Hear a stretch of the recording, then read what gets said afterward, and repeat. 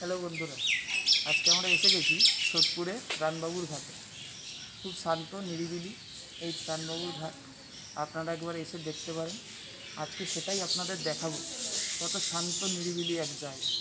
মন শান্ত করবার জন্য একদম আদর্শ জায়গা এই সোদপুর প্রাণবাবুর ঘাট। চলুন, ঘুরে দেখা যাক সোদপুরের প্রাণবাবুর ঘাট।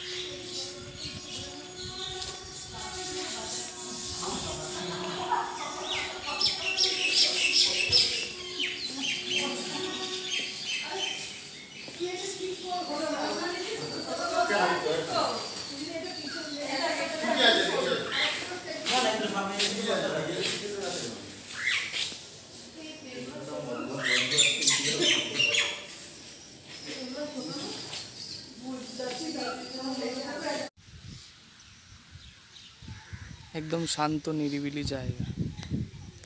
একদম মন শান্ত করে দেবে। পাশেই একদম সামনেই গঙ্গা। নিজের ধারায় বয়ে যাচ্ছে। এটা আমার বন্ধু সুজয়। হাই দেখুন। পুরো মন্দিরটাও ঘুরিয়ে দেখাবো। আপনাদের। আপনারা যদি ত্রাণবাবুর ঘাটে আসতে চান তাহলে আপনি আপনারা একটা কাজ করবেন। সোদপুর স্টেশন থেকে এক নম্বর প্ল্যাটফর্মের পাশ থেকে যে অটো ছাড়ে মৎস্যতলা ঘাটের ওইখান থেকে অটো ধরে সোজা চলে আসবেন মৎস্যতলা ঘাট। মৎস্যতলা ঘাট থেকে একটি টোটো বা রিক্সা বা পায়ে হেঁটেও আপনারা আসতে পারেন। এই ত্রাণবাবুর ঘাটে।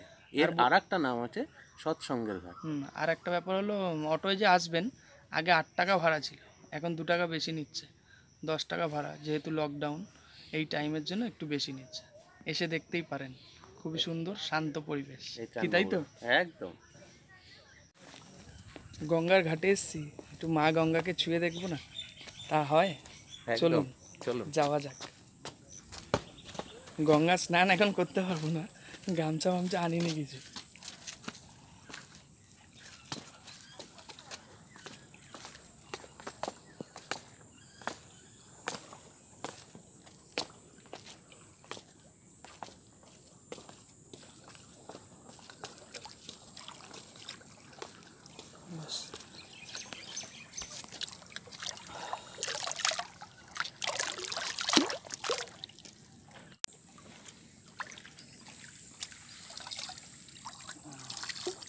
তার মধ্যে মেঘ করেছে সত্যি খুব অপূর্ব লাগছে।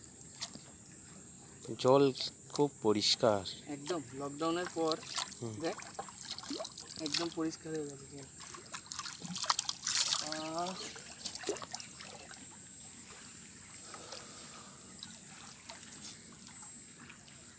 শান্তির ঘাট। শান্তির জায়গা। চল মন্দিরটা একটু দেখে আসি।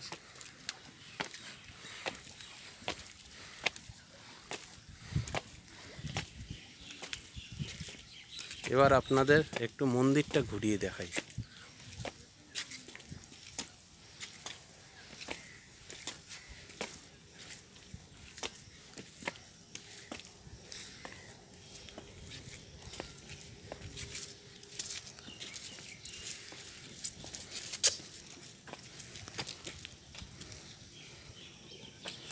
সোজা করলে ভালো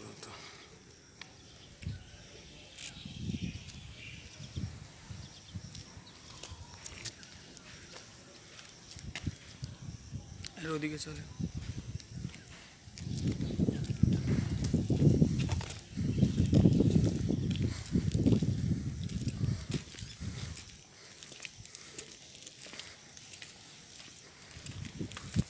অপূর্ব শান্ত জায়গা। বাহ অসাধারণ অসাধারণ।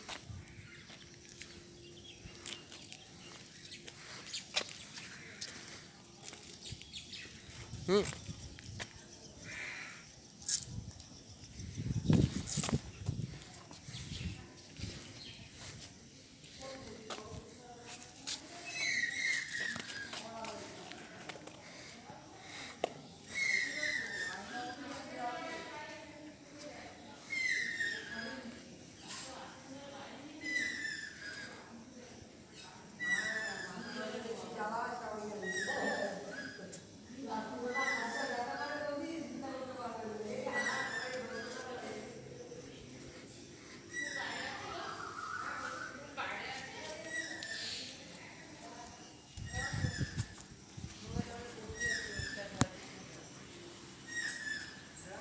মা কালীর মূর্তিও দেখলেন।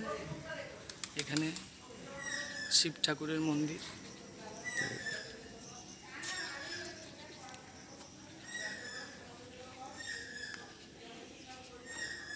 শিবরাত্রির দিন অনেক ভিড় হয় এই জায়গাটায়।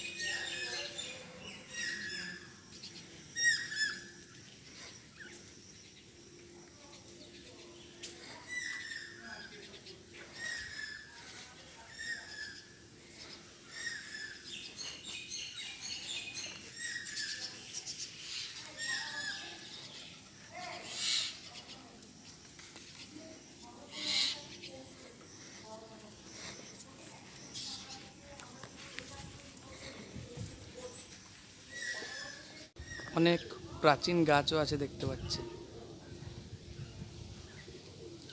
খুবই সুন্দর। আপাতত আমরা দুজনই আছি এখানে। অসাধারণ। তো বন্ধুরা কেমন লাগল আমাদের এই ছোট্ট প্রচেষ্টা? চারিদিকটা ঘুরিয়ে দেখানোর চেষ্টা করলাম। সোদপুর পানিহাটির ত্রাণবাবুর ঘাট। কেমন লাগল অবশ্যই জানাবেন। একদম প্রথমবার করছি। একটু তো ভুল ত্রুটি হবেই। ক্ষমা করে দেবেন। ক্ষমা করে দেবেন। তো আজকের জন্য এই ভিডিওটা এখানেই শেষ করছি। টাটা। টাটা।